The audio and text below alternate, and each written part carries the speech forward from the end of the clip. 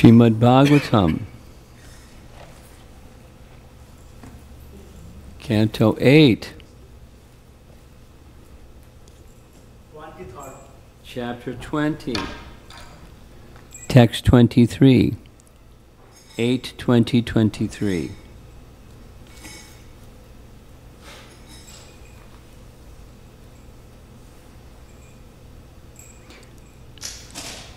Rasam Ashtatangri Tale Tapadayor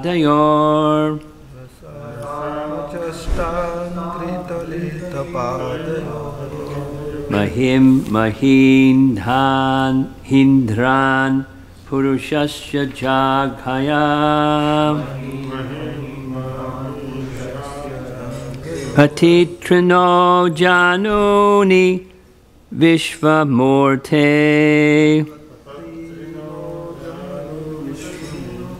Urvorganam Marutam Indrasena. Rasam Achashtangri Taleta Padayor Mahim Mahindran Purushasya Jangraha Jangrayo. Patitruno Januni Vishvamurte Urvorganam Marutam Indrasenaha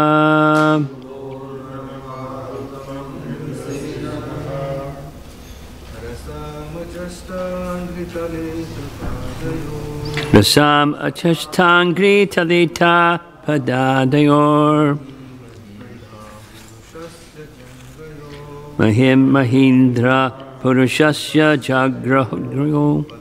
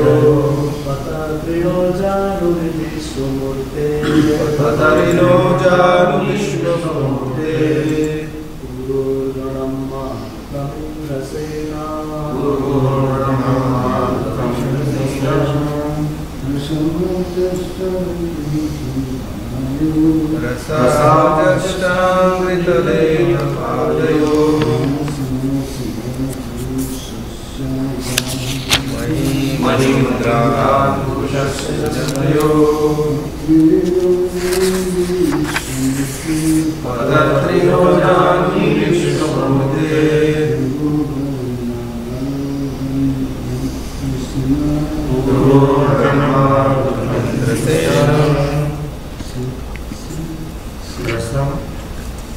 अचष्टाङ्घ्रितले निष्ठापदपादयो रसामुजसामृतलेतपादयो महिमहीन्द्रा पुरुषस्य जङ्गयो महिमहीन्द्रा पुरुषस्य जङ्गयो पतत्रिणो जानुनि विश्वमूर्ते पतत्रिणो जानुनि विश्वमूर्ते पूर्वोर्गणं मारुतं इन्द्रसेनः पूर्वोर्गणं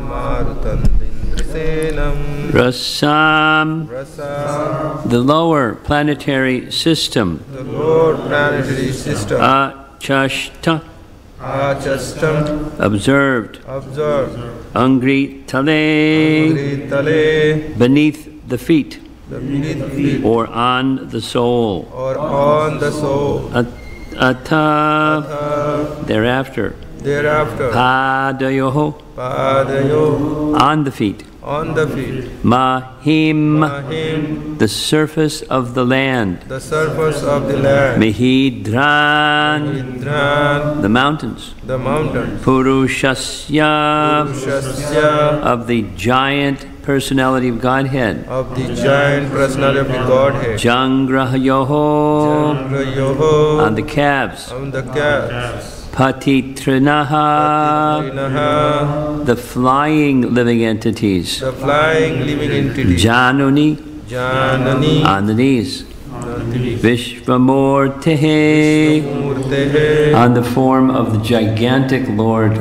Of the form of the gigantic Lord. Ovoho Urvaho on the thighs. on the thighs. Ganam Marutam, Ganamarutam varieties of air. varieties of air. Indra Senaha, Senaha Bali Maharaj, Bali Maharaj who had obtained the soldiers of King Indra who had the shoulder of king and who is situated in the post of Indra. who has situated the post of Indra. Translation Thereafter, Bali Maharaj, who was occupying the seat of King Indra, could see the lower planetary systems, such as Rasatala,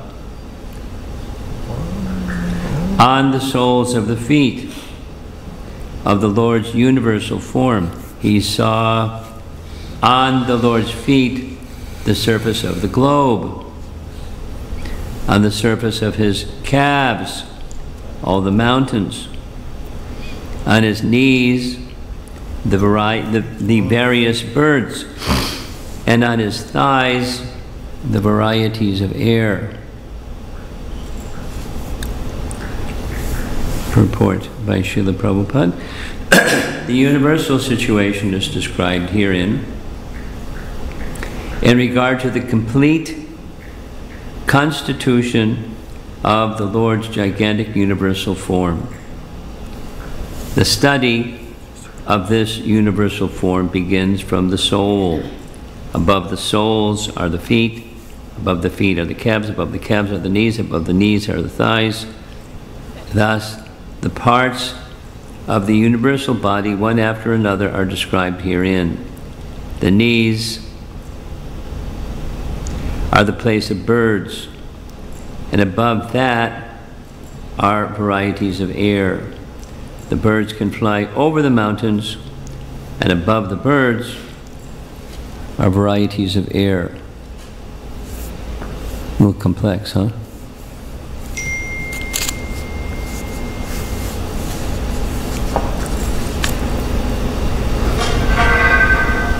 My thought is just to discuss a little bit the principle of and the different descriptions of the universal form. What is the universal form?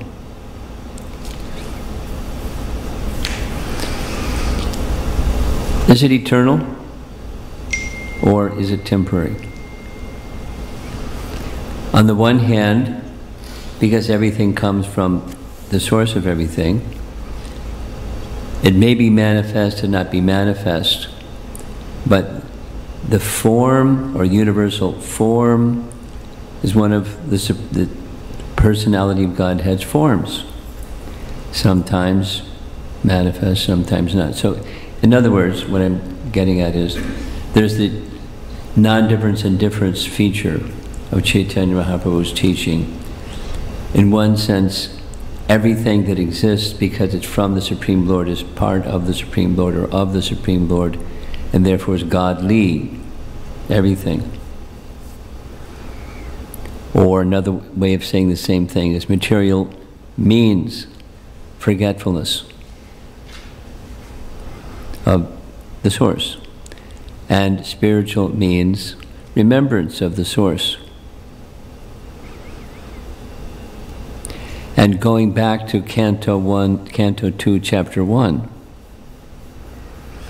there's a different description of the universal form. It's the same universal form, but seen through a different lens, and it's describing the features of that which is created and depicting that which is created as the universal form, which is distinct from the way it's described here and even somewhat different than the way it's described in the Bhagavad Gita. Is this, so, is it possible for the one object to be viewed in a different way, you could say through a different lens, and described accurately? Same thing. The answer is yes, of course. because the universal form or anything that one may contemplate or see or regard has different features. Certainly, the previous verse says the universal form is filled with six opulences. So what does that mean? It means it's a form of Bhagavan. It's a feature of Bhagavan because only Bhagavan has the six opulences. Of course, there's degrees of manifesting those opulences, but Bhagavan possesses them in, in full. And whether exhibiting them or not exhibiting them in fullness, Bhagavan is one who has them. and the feature, here's something interesting. I, I find it interesting.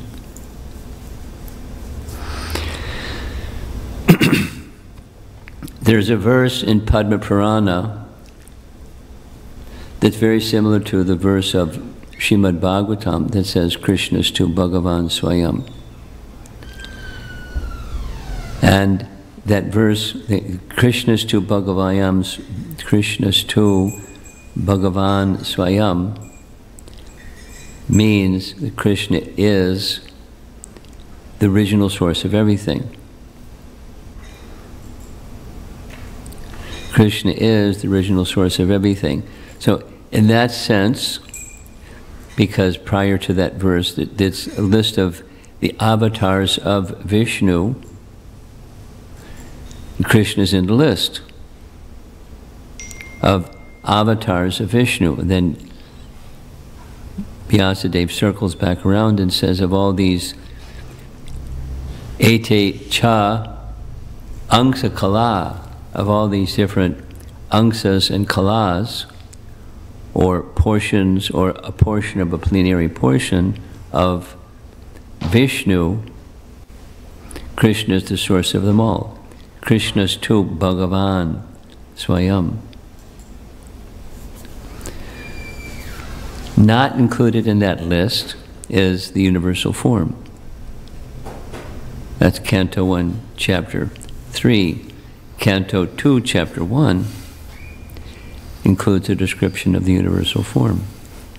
And the stages of God realization progress in Canto 2, meditation on the universal form, specifically the narration says, Shukadev Goswami's narration says, one must, one will let go of that contemplation and take the next one. And that's Super Soul, Lord of the Heart. And then one will let go of that contemplation. It's not like the universal form just dissolved or Paramatma dissolved. It's just the focus of meditation, then to the personal feature.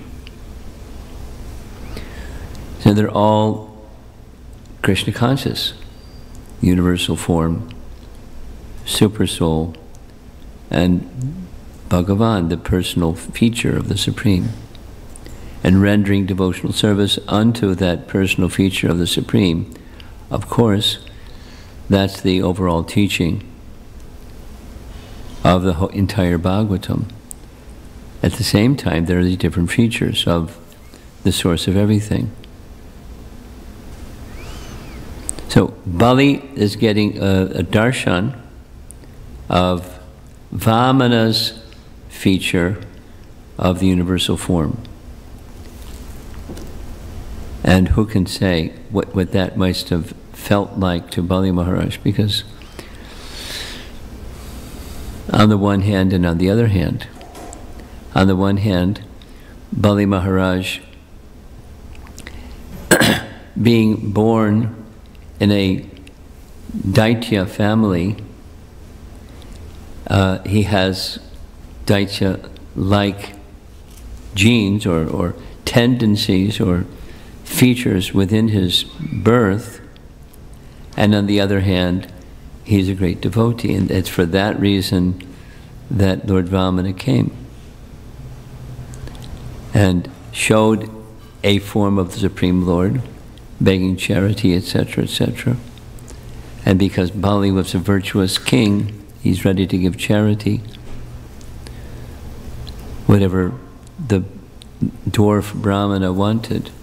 So anyway, he's now, the dwarf Brahmana, Vamana, is standing before him, now simultaneously showing his universal form. In other words, I'm not just a dwarf Brahmin, but the source of everything. And here's this depiction of everything. Let's go back and read the translation.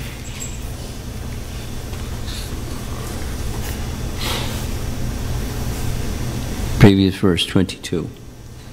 Bali Maharaj, along with the priests, acharyas, and members of the assembly, observed the Supreme Personality of Godhead's universal body, which was full of six opulences. The, that body contained everything within the universe, including all the gross material elements, the senses, the sense objects, the mind, intelligence, and false ego, the various kinds of living entities, and the actions and reactions of the three modes of material nature. In other words, it wasn't something that exists within the universe that wasn't displayed by the universal form. Which is kind of mind boggling because seeing everything in one place at the same time, it's like circuit overload. Your fuse is going to blow. But he, Vamana, gave Bali the eyes to see, as much as Krishna gave the eyes to Arjuna to see the universal form.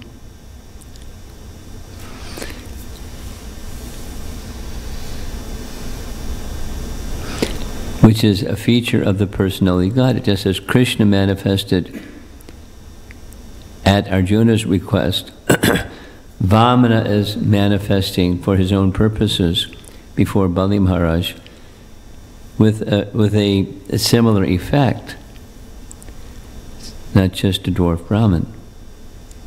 Or in, in case of Krishna and Arjuna, it's not just my friend, my cousin, my friend, the Supreme Personality of God. And so when Bali Maharaj understood, in addition to the virtue of giving charity to a Brahmana, he's now understanding he's the, he's the personality of Godhead. Who can show this? You've probably heard. If someone says, I am God, you can ask him, my dear sir, please show me the universal, your, your universal form.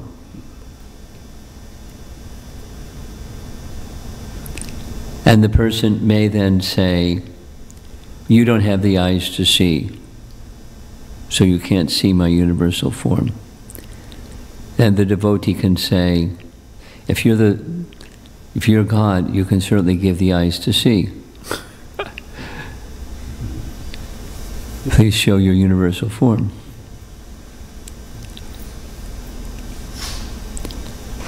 Vamana isn't being challenged by Bali Maharaj to, you know, prove that you're God he's proving he's God, showing his universal form right in front of him. So the emphasis in the purport is brief. It's meditation upon starting up with the soles, then the feet, then the calves, then the thighs, as rising from the bottom, going up like it's recommended in Canto 2, one should see the deity form from the feet first. Arti is offered to the feet first. Darshan is to the feet first. It's just, just standard meditation. Now, we may not, when we see, come before the deity, look at the feet first. but that's what's recommended. It's just a procedure. And that's what's happening here. It- you know, the, the, the speaker, Shukadeva Goswami, is narrating Bali Maharaja's experience, and he's meditation is starting from the soles to the feet, etc. So it's, it's, a, it's a suitable sequence, and exactly the description may differ in another description, which is quite okay. In other words, above the birds is varieties of air. So birds are flying in the air. So they're within the air. But above the birds are varieties of air. D- doesn't detail it, at least in the Bhaktivedanta purports. But they're varieties of air.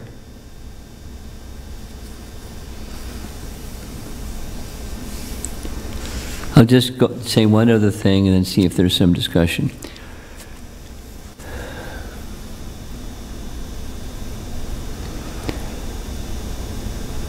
While ago, I was visiting in Alachua.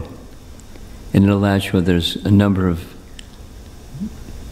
Prabhupada disciples and very senior devotees and very learned persons. So somehow the discussion, the, the verse was speaking about Anila. Anila is one of those varieties of air. And sometimes synonymous, but sometimes not synonymous. There's uh, Vayu, which is another term that refers to the air. And then there's prana, because that was within the verse as well. So the discussion was going what's the difference? Is there a difference between air that we breathe and the life air within the body? Reasonable question. And there was no immediate answer amongst the learned persons in the room. And with some research, primarily with the, the assistance of Bhakti Vigyan Maharaj, he referred to Madhvacharya's commentary on Vedanta Sutra or Brahma Sutra, where he gives the following explanation. Now, this is Madhvacharya, who has, as a partial incarnation of Vayu, who's also known as Mukhya Pran. Mukhya Pran is the source of all prana. The origin of all prana is Mukhya Prana. And from Mukhya Prana comes prana within the bodies of living entities, which is not exactly the same. There's a connection.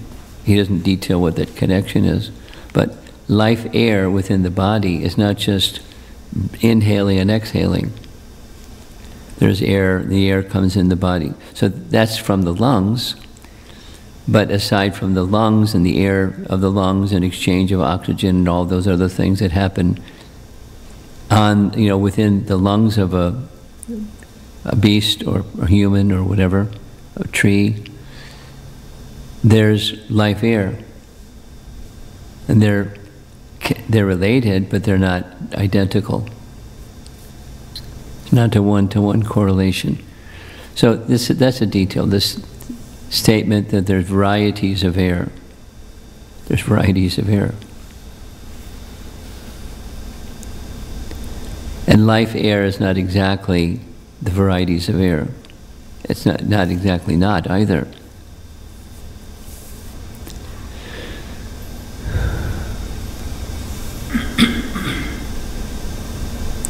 Just like, anyway, it's a detail. Just like in, uh, I was just reading yesterday, Prabhupada was describing the duration of life. We're allotted a certain number of breaths, and when that number is met, then death comes. So one of the, Prabhupada was describing, one of the systems of prolonging life, not one becomes, gets eternal life, but prolonging life is assisted by pranayama, which means controlling prana within the body to the point where the yogis can live for a long, long time. Just based upon the life airs within the body and suspending the ingoing and outgoing air. For example, Prachetas, they meditated underwater for I forget, length of time, long, long time. And you can't meditate under Saubhari Muni. You can't meditate underwater and still breathe. So it's a, it's a way of testing or displaying and pre preventing some cheating. But the, the purpose, one of the purposes, you know, the intermediate purpose at least, is prolonging life. It's certainly a form of tapasya, but it's a certain form of tapasya that minimizes the ingoing and outgoing breath, suspends the life air within the body, and in that state of concentration, to be able to do that, ultimately it's concentration on the Supreme.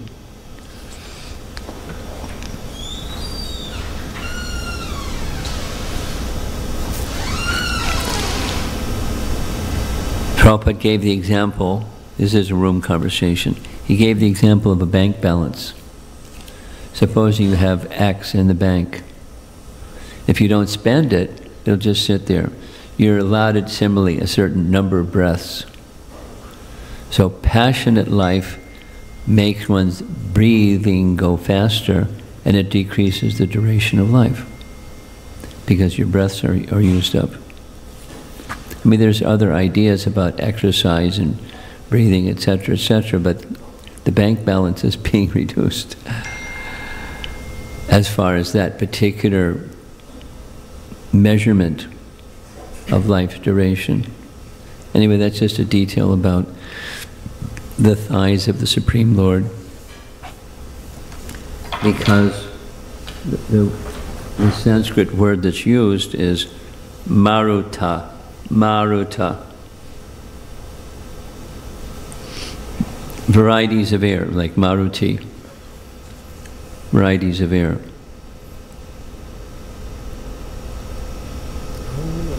And everyone's seeing the same thing. And how is impacting everyone and how it's impacting Bali Maharaj is going to be a little different because he's a very elevated person. They, the others are able to see the same thing he's seeing that's being explicitly described here. But their understanding, how it impacts their consciousness is different, which I guess we'll hear about in the upcoming verses.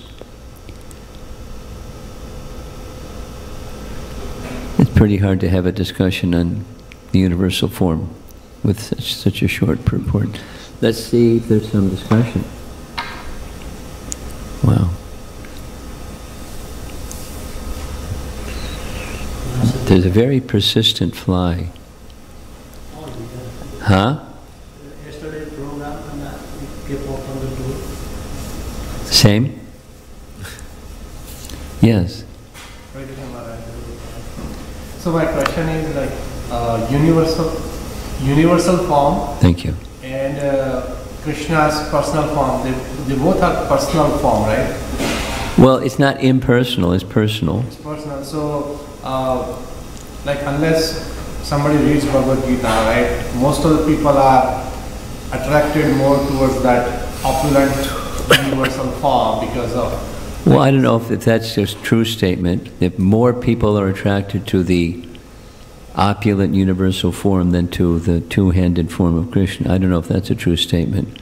But if, if somebody is more attracted to that opulent If, if somebody is, then? What is their their destination? They still get the personal. No, it, it's like Canto 2, Chapter 1.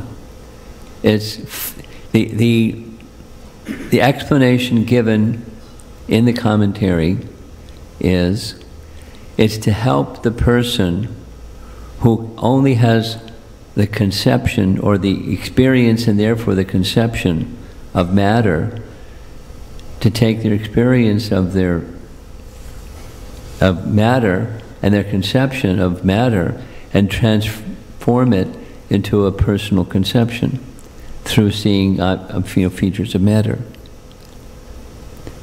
The hills are his stacks of bones. That's, you know, the trees are the hairs on his body. And, you know, to connect features of matter or creation with a person.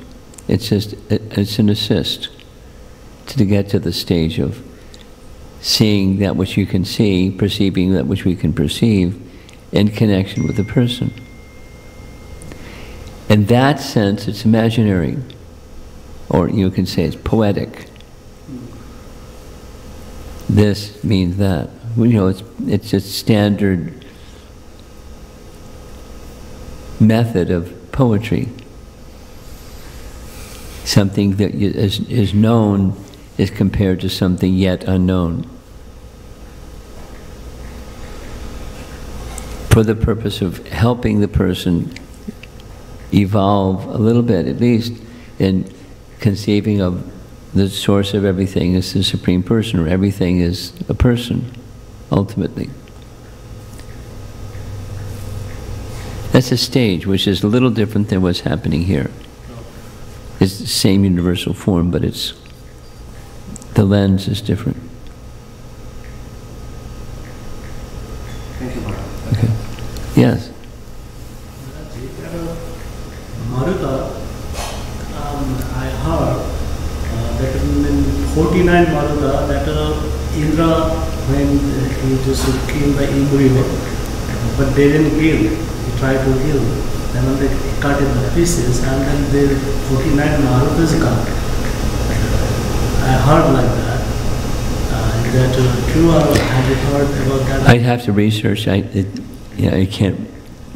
It sounds quite familiar, but I'd have to research it before I could say yes or no. I think Maharaj, uh, the, he's telling like, I mean, we are recently, Take the mask off. oh sorry, we are reading Srimad Bhagavatam every, uh, like verse by verse, and then uh, I think Canto 3, right, when uh, Adi, uh, Aditi, like, you know, she, Kapil.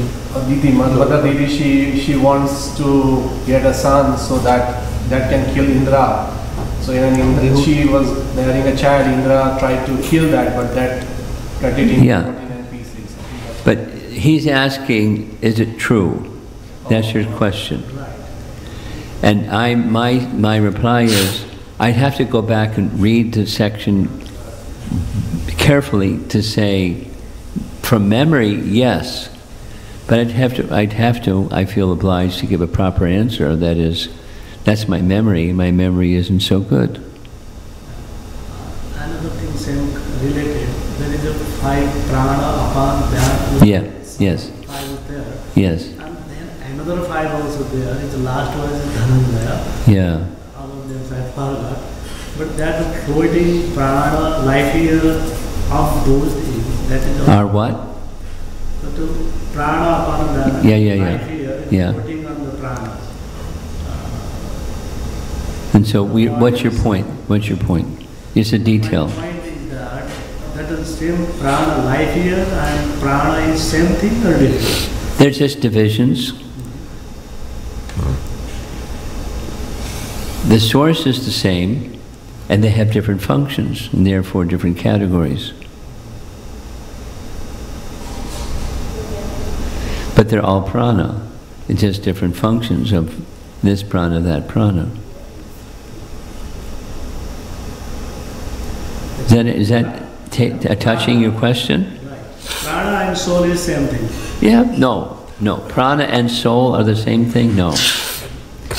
Prana helps carry the soul, but the soul is not prana. It's life, air. It's, you know, my understanding is limited. But my understanding is that through the, that this, the, the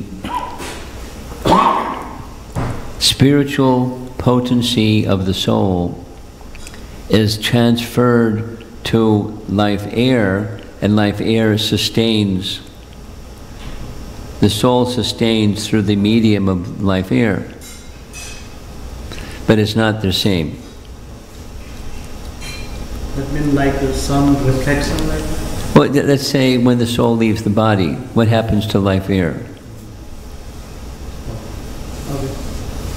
But when the soul is there, the life air, ha- it, it's, it's like, you know, a, an nimitta. It's a, an object or it's a tool through which the soul acts to, to support and sustain life. The, the, the source of that potency is the soul. And then the instrument is life air. Uh-oh. Does that answer your question? They're not the same. You got to go take the phone call. Is there a connection? Hmm? No. Is there a connection? Is there a connection between the the divya drishti that is given uh, and also like we read from uh, Brahma Samhita, Premanjana Chhurita? Is there is that one and the same thing or no? Different? They're they're similar, but they're not one and the same thing. Divya Drishti, be- supposing, just like here in this verse, specifically, this one, that one, the other one, they're all seeing the same thing. It's not premanjana. It's divya drishti. They're given the power to see something extraordinary. But it's not arising from premanjana. Clear? Yes. You have something? No, no. No? Okay. Thank you. Srila Prabhupada ki jai. jai. jai.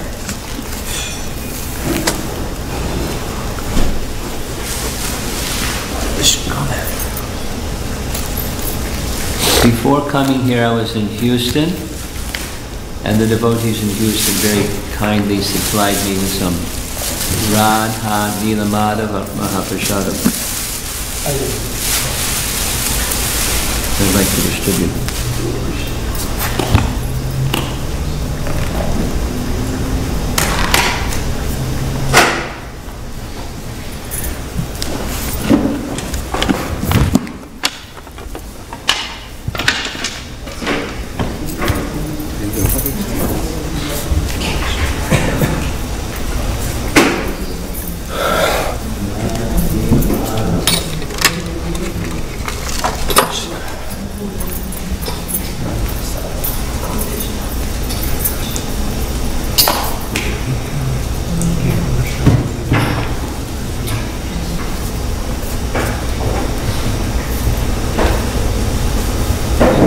bazate la un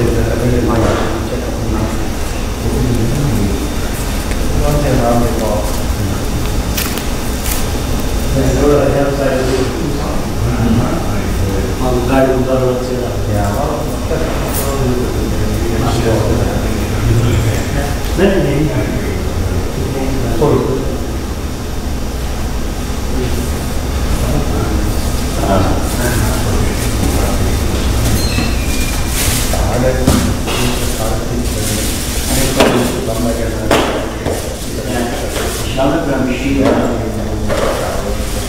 the.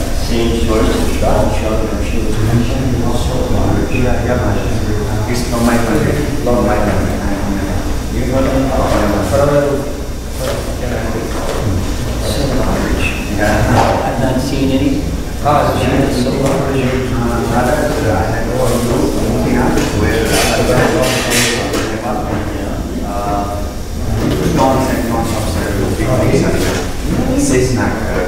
like this and says now we're wrapping it. and says now it's total salary. so you first do not this? No, matter. it's.